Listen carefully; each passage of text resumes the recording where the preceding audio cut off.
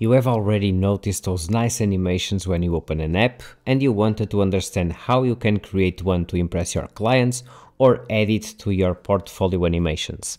That's the app splash screen and in this video you will see how easy it is to create a good one to use. You may find the file for this tutorial in the description, so go ahead and grab it. Here are the assets to use, a logo, a text container and a background. Now let's select a frame. We can use the iPhone 14 or 15 Pro.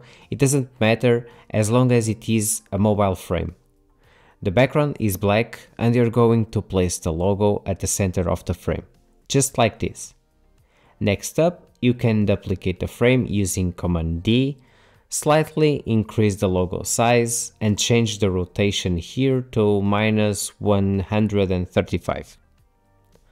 Duplicate the frame again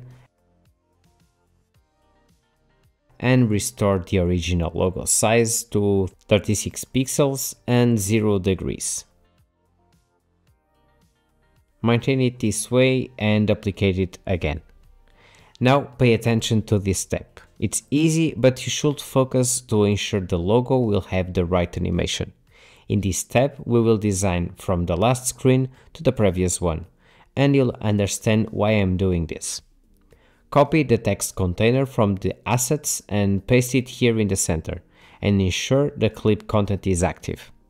Now adjust both logo and the text container to be at the center of the screen.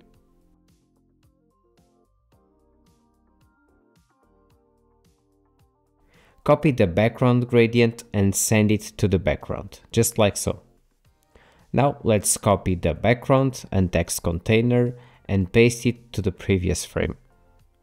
Send the background to the back and set the opacity to zero.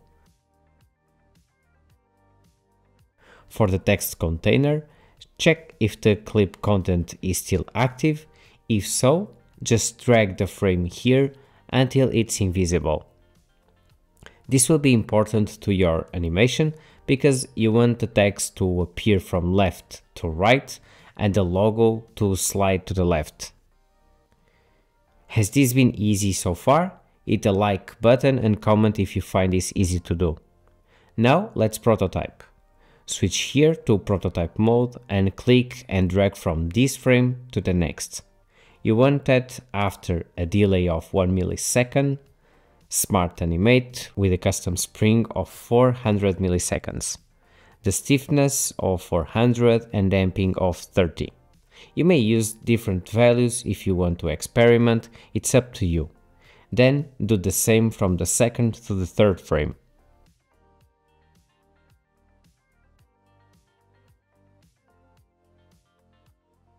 And from the third to the last frame, use 650 milliseconds because you have the background and you may give a little more time to do that.